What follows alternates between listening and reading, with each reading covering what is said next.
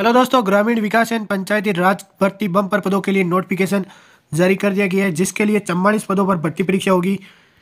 अलग अलग पदों पर अलग अलग क्वालिफिकेशन दी गई है, जो कि आपको सारी जानकारी मैं आपको बताऊँगा। इसके ऑनलाइन आवेदन 27 जनवरी से 25 फरवरी 2022 तक भरे जा रहे हैं।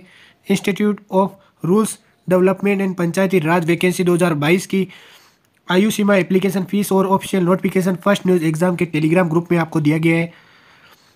देखते हैं कुछ महत्वपूर्ण बातें। एज लिमिट इसकी अधिकतम आयु छप्पन वर्ष तक रखी गई है और इसकी अनुसूचित जाति के लिए छूट रखी गई है।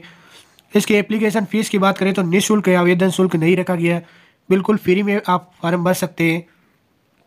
राष्ट्रीय ग्रामीण विकास एवं पंचायती राज संस्थान भर्ती 2022 के लिए एजुकेशन क्वालिफिकेशन क्या क्या चाहिए?